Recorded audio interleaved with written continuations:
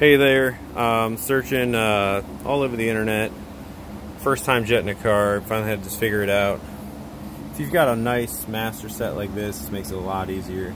Super simple, 5 16ths, a couple of flat heads, 19 if you're running some kind of dual setup here. Get off the fuel fittings. Basically what you'll find out you pull these four bolts off the front after of course hooking up unhooking these two lines here. This will just drop forward the little booster pumper will fall down. Just watch your gasket and just ease it out of there. It's obviously a hose in the way here but see if we can do this just like that that. There we go.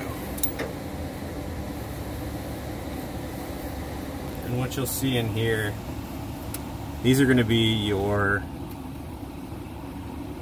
primaries for when you're at part throttle in the front. This is a Quick Fuel 750 and it came with 74s in it. We need to lean it out a little bit. So I went with 72s in the back, you're gonna pull the same thing off, and they're gonna be extended out a little bit. And those are obviously gonna be a bigger number. They were 80s, and I went down one on those to a 79.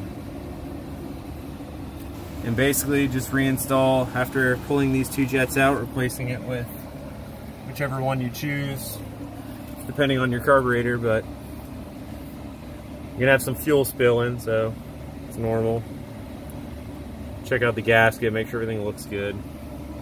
Then you just reinstall everything the way you took it apart.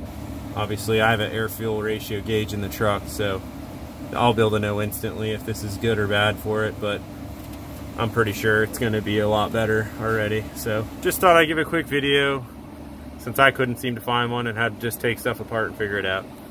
All right, hope this helps. See ya.